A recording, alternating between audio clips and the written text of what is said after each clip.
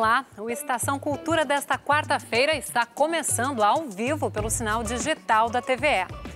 No programa de hoje vamos saber como será o espetáculo O que, que eu estou fazendo aqui, que vai ser apresentado sexta e sábado na Companhia de Arte. Também vamos conversar com o Juvenal Dalcastel sobre a língua talhã.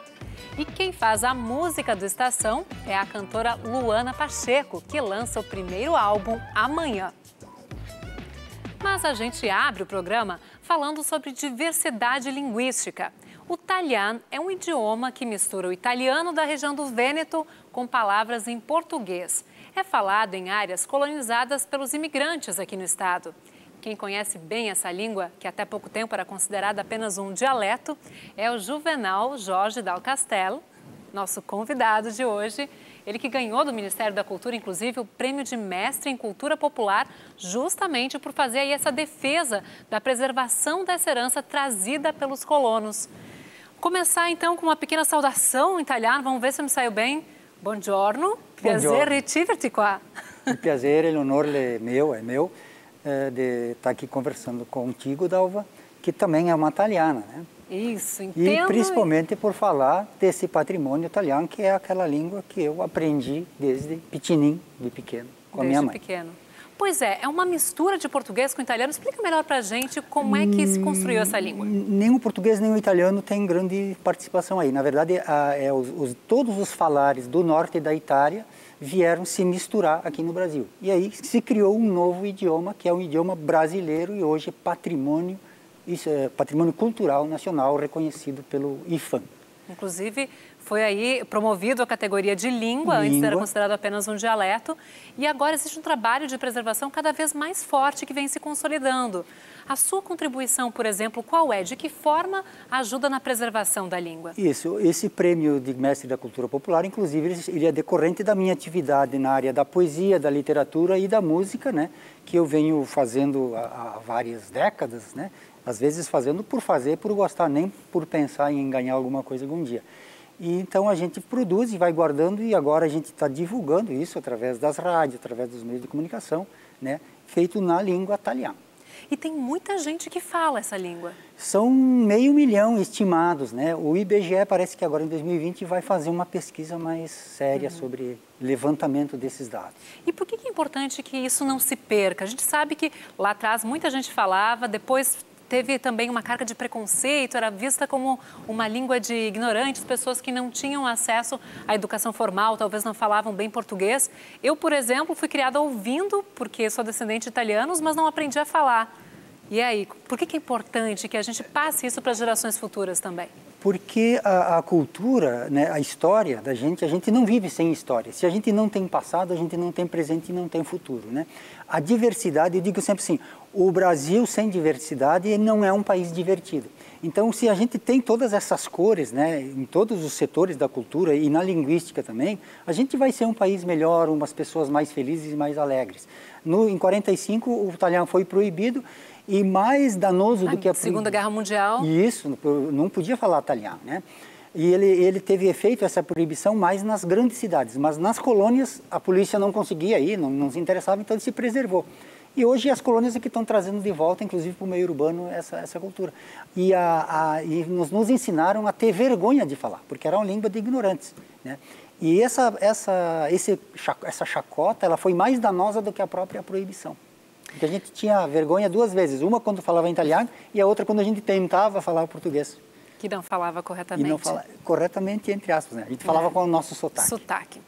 E o, Prêmio Mestre da Cultura Popular 2018 é, do Ministério da Cultura, ele é, concede um benefício em dinheiro que depois vai ser revertido numa produção cultural. Qual é a contrapartida? A minha contrapartida é um livro de uma história de uma galinha de colônia, né, que vai interagir com as pessoas e ela vai liderar uma grande revolução eh, no Brasil e depois vai se espalhar para o mundo lançamento previsto para o ano que vem. Obrigatoriamente em 2019. E antes da gente encerrar, também tem um outro trabalho importante do Colegiado Setorial da Diversidade Linguística do Rio Grande do Sul, do qual você participa, um colegiado criado esse ano.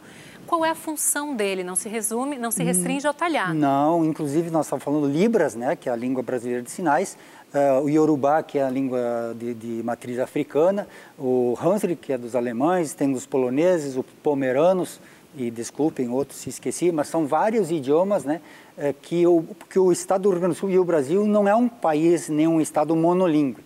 Isso é um mito. E esse mito deve ser desconstruído e o colegiado quer fazer essa conexão. E valorizar a diversidade. A diversidade. Muito bem, para quem quiser conhecer mais do trabalho do Juvenal do Castelo, também eh, tem lá no Spotify algumas músicas, músicas, porque ele atua em várias frentes. Como é que é o nome do CD mesmo? Sorgente Brasiliana. Isso. Mas é só então... digitar o meu nome, Juvenal Dal Castelo. Isso, com sotaque que aí vão junto, aparecer que aí vai aparecer mais rápido. A playlist, né? Muito 16 bem. músicas. Fica aí o convite. Muito obrigada pela sua participação aqui no eu Estação Eu agradeço Cultura. em nome de toda a comunidade italiana que que, tá, que eu tentei trazer Se aqui e dividir com eles com esse prêmio né, e o próprio reconhecimento do Ministério da Cultura. Agora, tchau, está bem. Grazie per propiciar com este momento.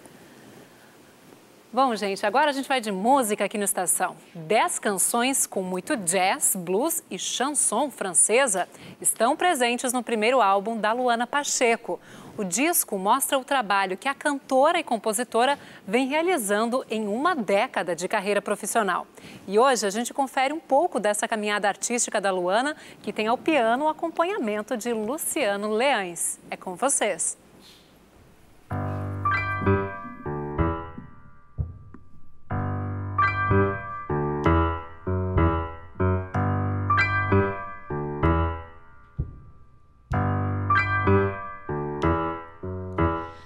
Yeah.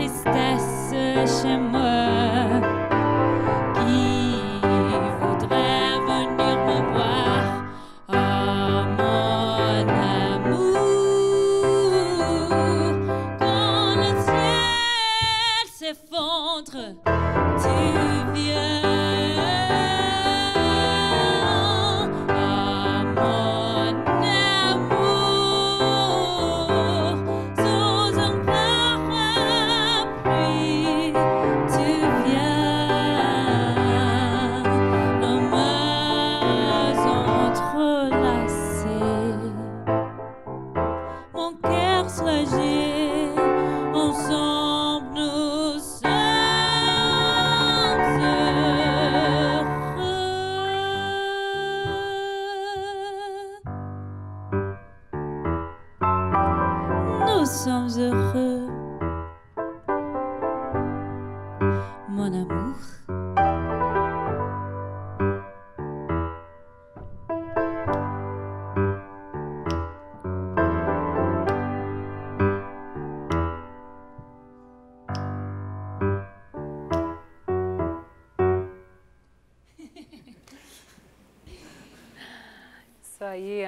música com a Luana Pacheco. E durante cinco meses, pessoas de diferentes profissões conheceram a arte de ser palhaço. O resultado desse aprendizado é o espetáculo O que, que eu estou fazendo aqui, que tem apresentações marcadas para sexta e sábado na Companhia de Arte. E eu converso agora com o ator Rafael de Moura, diretor da peça. Seja bem-vindo à Estação Cultura, obrigada pela presença. Eu que agradeço mais uma vez estar aqui nessa casa, muito obrigado pelo convite. Conta pra gente então, o que, que é essa peça que eh, vai ter a participação de 14 palhaços que participaram de uma oficina? Então, na verdade, a escola Construindo Seu Clown é uma escola que mistura terapia com a arte e, através da linguagem da palhaçaria, a gente faz o convite para que as pessoas participem desse processo de autoconhecimento e descoberta da palhaçaria. Agora, nós tínhamos uma pessoa que estava falando sobre italiano, né? Isso. E pagliaccio vem do italiano, que é homem de palha, homem do, homem do campo. Nós temos que tirar uma foto agora aqui. Foto? Uma foto. Ih, vamos lá, então. Vamos, vamos tirar uma foto então, fazer um Que que registro. eu- É, tá, tá um pouco antiga essa É. câmera. O que, que houve? Ah, é uma 3x4. Sorriso? Tá. Aê. E a gente está... Contamos com uma participação especial aqui no E- Estação, então, de uma das palhaças que vai participar dessa apresentação de sexta e sábado. Na verdade, é a Daniela Barcelos. Daniela, bem-vinda também ao Estação. Você participou dessas aulas que duraram aí uns cinco meses, mais ou menos. Por quê? Que você trabalha com fotografia, certo? Certo. Por que, então, participar de uma oficina de teatro, justamente teatro de palhaços? Eu quis, é, foi um desafio. É, eu já sou assim bem espontânea no dia a dia, mas falar em público para mim é bem complicado e eu quis tentar isso para ver como é que eu me sairia. E como ele falou, é uma terapia. Assim, é, é uma terapia em grupo que tu te conhece, é, te descobre de outras formas que tu nem imagina que existem.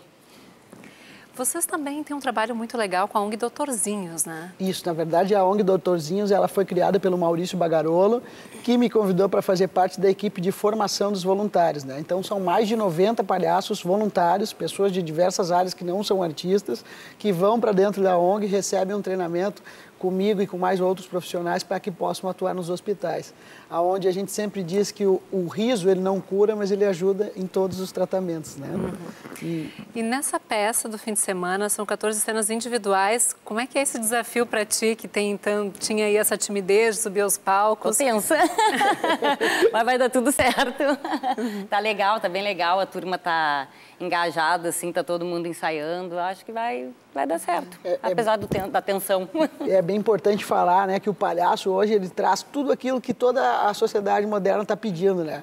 Que a gente tenha foco, estado de presença, que a gente tenha capacidade de improviso, né? E o palhaço, na verdade, não é atuar, né? É vivenciar uma técnica, uma experiência onde você está disposto a trazer de dentro de você, explorar os seus sentimentos, a sua forma de ver o mundo e passar para o público isso através do riso, do sorriso, da graça e do gracioso, né?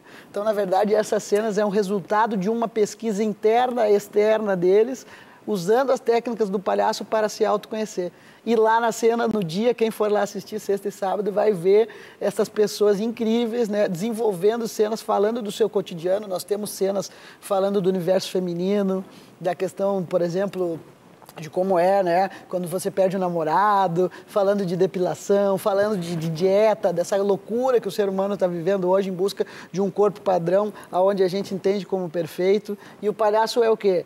Ele traz essa possibilidade do ser humano rir né, do ridículo que somos em busca de um estado de perfeição ou de algo completamente desumano que é o que se solicita hoje, que a gente seja perfeito, né? E faz com que todo mundo se identifique. Né? O palhaço surgiu e continua sendo o mestre do riso, aquele que faz com que o ser humano se sinta abençoado e feliz, né? Naquele instante onde ele não precisa de nada e tem tudo, que é o sorriso e a vontade de estar feliz, né? E esse sorriso, essa vontade de estar feliz, você levou também para a África nos últimos dias. Que história é essa? Exatamente. Assim, a escola já tem quase quatro anos. Eu venho de uma história de vida de muitas quedas e vitórias, né? Eu sou adotado, venho de uma família muito humilde. A arte salvou a minha vida. Eu sempre quis fazer teatro, fazer a música, fazer arte para ajudar as pessoas. E esse ano realizei um grande sonho. Fui convidado pela Aliança Francesa juntamente com a Air France e tive então em Angola, na África, agora durante 20 dias, 18 dias, dando um curso de formação de palhaçaria terapêutica. Deixamos lá 46 palhaços formados para atuar em hospitais, em orfanatos. A miséria lá é muito grande, a gente vê uma necessidade imensa, né?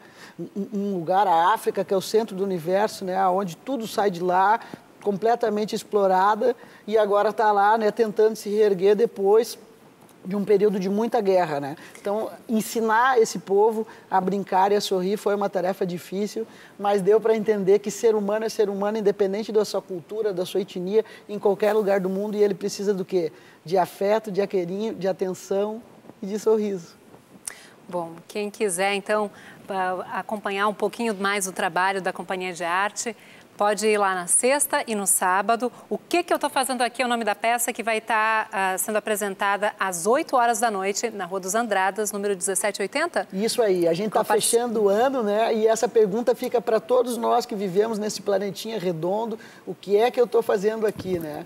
Para que, que eu estou respirando? Por que, que eu estou me movimentando? O que, que eu quero? Você agora vai ter um filho, né? É. Vai chegar no mundo. Para que, que essa criança tá vem ao mundo, né? Que seja para transformar, para motivar e para tocar as pessoas, né? A gente tem que transformar o mundo, né? E querer para o nosso filho a mesma coisa que a gente quer para qualquer outra pessoa. Sem Tomara dúvida. que ele chegue e traga muita alegria para a gente aí. E te Não. espero lá para assistir a gente, né, Dani? Uhum. Obrigada, gente. Obrigada pela participação, Rafael, Daniela. Obrigada. E sucesso para vocês. Obrigado.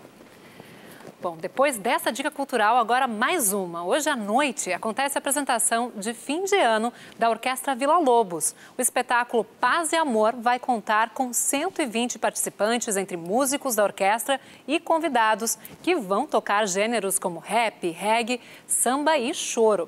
O espetáculo inicia às 8 horas da noite no auditório Araújo Viana. Agora a Estação Cultura faz um breve intervalo, mas voltamos em instantes. Fique com a gente.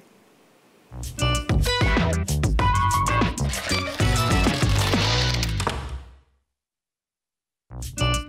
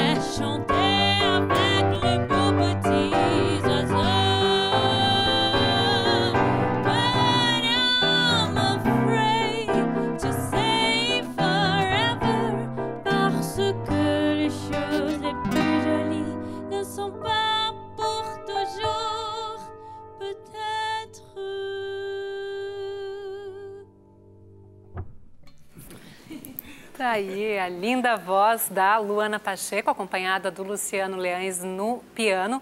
A Luana que tem grandes ídolos como Ella Fitzgerald, Piaf, Françoise Hardy e também Elis Regina. E a influência de todos esses ícones aí da música está presente no trabalho que a cantora desenvolve há cerca de 10 anos. E agora vem o primeiro álbum. É isso aí. O que, que a gente pode esperar desse álbum? Que tipo de música está nele e as composições, enfim. Obrigada pela presença. Ah, eu que agradeço o convite. E é sempre difícil a gente se colocar na caixinha, né? Eu sempre falo isso. Deixa eu até Mas- mostrar aqui o álbum. É, tá aí.